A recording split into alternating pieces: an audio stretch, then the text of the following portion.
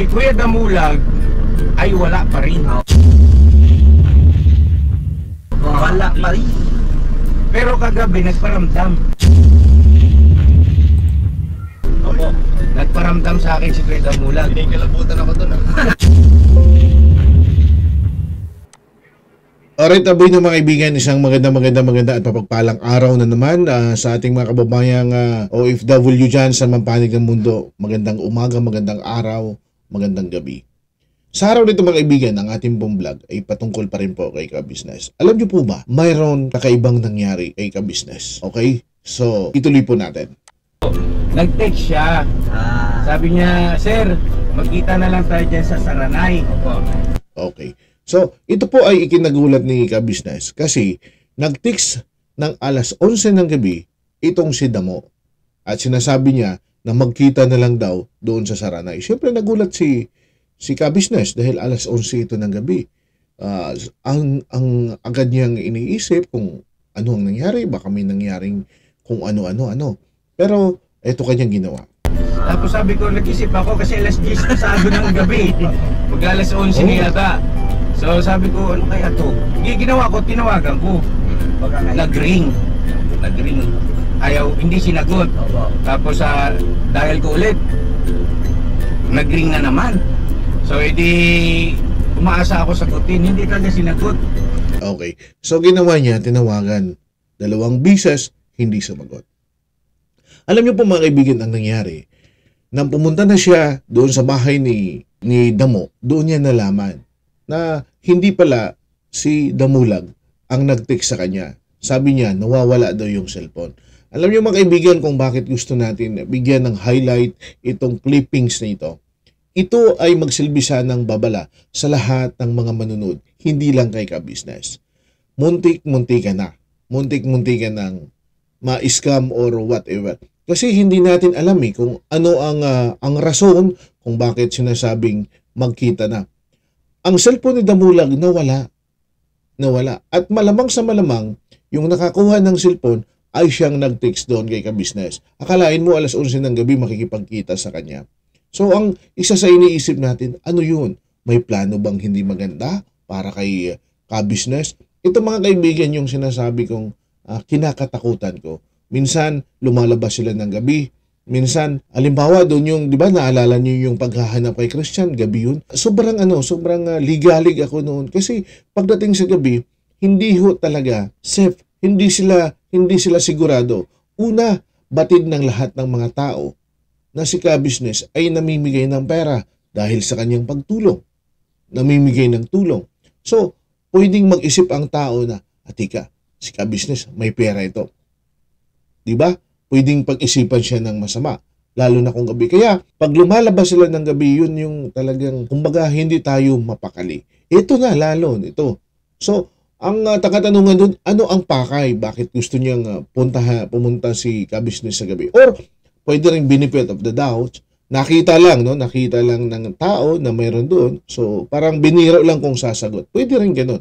Pero magpaganon pa man mga kaibigan, tulad ng sinasabi natin, magsilbing aral ito, hindi lang kay ka-business kundi sa lahat ng mga manonood. Na minsan, kapag may mga nagtitik sa atin, lalong-lalo na, nahingin ng pera, or uh, ano man, hindi ka pa rin kampantik sa tawag eh pag tinawag, halimbawa, minsan tinatawagan mo, di ba? Kasi minsan parang ang boses ginagaya lang. Kung mayroon silang mga messenger or anumang platforms na pwedeng mag-video call, isa po sa pinakamaganda at safe na pamamaraan ang pag-video call. At least, makikita mo ang kausap mo mismo na talagang siya ngayon. Sigurado kang siya. Kasi minsan sa tawag, sumasablay pa eh. Parang may nanggagaya ng boses. Di ba? Oh, paano na lamang yan? Katulad yan, na wala pala yung cellphone ni Damo. Nagsabi sa kanya, Sir, ah, tulungan mo ako rito ah, or ah, Sir, ganito, padalhan mo ako ng pera, emergency lang, di ba? Tapos kung tumawag yan, tapos uh, nabusisan na parang si, ah, si Damo nga ito, baka emergency niya ito, no? Alam naman natin ngayon, madali lamang na mag-send ng pera. Ang daming mga pwedeng pamamaraan, di ba? So, paano kung nangyari ang mga bagay na yon? Wala na. Tapos, di ba? Kaya ho mga kaibigan, sabi ko nga, pasalamat lang tayo. At least, uh, laging ginagabayan din si ka-business dahil sa kanyang mga kabutihang ginagawa. Ang sa akin lang, uh, ka-business, uh, sana magdubli ingat ka, sana uh, wag basta-basta. No, wag basta-basta. At maging aral din. Katulad ng sinasabi natin, maging aral ito sa lahat ng mga manonood, hindi lang kay ka-business. Na sana magdubli ingat tayo. Sa pagkakataon ngayon o sa panahon ngayon, hindi po natin maiiwasan. Mayroong maraming mga matang nakatingin sa mga taong katulad nila ka-business, lahat ng mga charity mission na may busilak ang puso sa pagtulong. May mga taong nag-iisip din kung paano nila pwedeng mapasok at makabenepisyo sa mga programang ito sa mabuti or sa negatibo mang pamamaraan. Well mga kaibigan, ako po si Taong Gala. Sana po ang uh, bidyong ito ay may makuha tayong aral para po sa lahat. And syempre, Miguel Love shoutout po sa ating mga kababayan at kapatid natin dyan na mga kabisnes, sa ating pong mga kapatid dyan na mga kapapi. At sana po mga kaibigan ay tuloy-tuloy na pong uh, isulong natin at tulungan si kabisnes 391,000 na po ngayon. Sa kanyang pangarap, sabi nga niya 4,000 lang sa taong ito. Pero kung ako po ang pabibigyan ng pagkakataon, sana po gawin na po nating 1 million subscribers sa taong ito. The more na mas malawak ang kanyang uh, subscribers, mas malawak din ang kanyang matutulungan. At ganoon din po mga kaibigan, Miguel Love shoutout po sa ating mga kasama na lagi pong kaagapay natin at uh, nandyan ang ating pong siyempre Team Legit, isang bagong uh, uh, binuo at tinatag na grupo ng mga vloggers.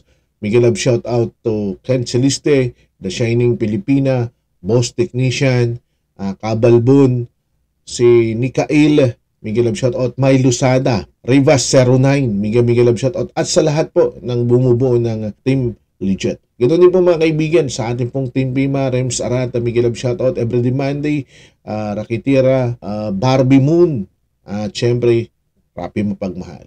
At ang ating pong Team Bornibol, admin uh, Bornibol, at syempre si Serly, si Criselda Whitey, Kapangarap Vlog, Miguel Lab Shoutout, William Villarta, na uh, mabuhay ka.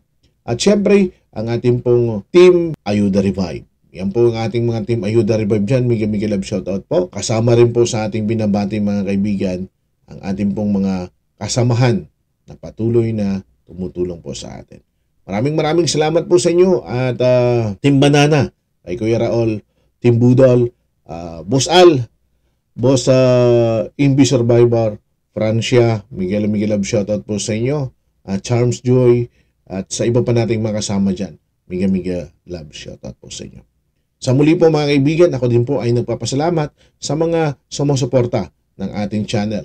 Uh, andyan po si Swiss Pandy, andyan po si Delatory Vlog, Miguel Love shoutout. Siyempre, The System Seedlings, uh, Miguel Miguel Love shoutout po sa inyo.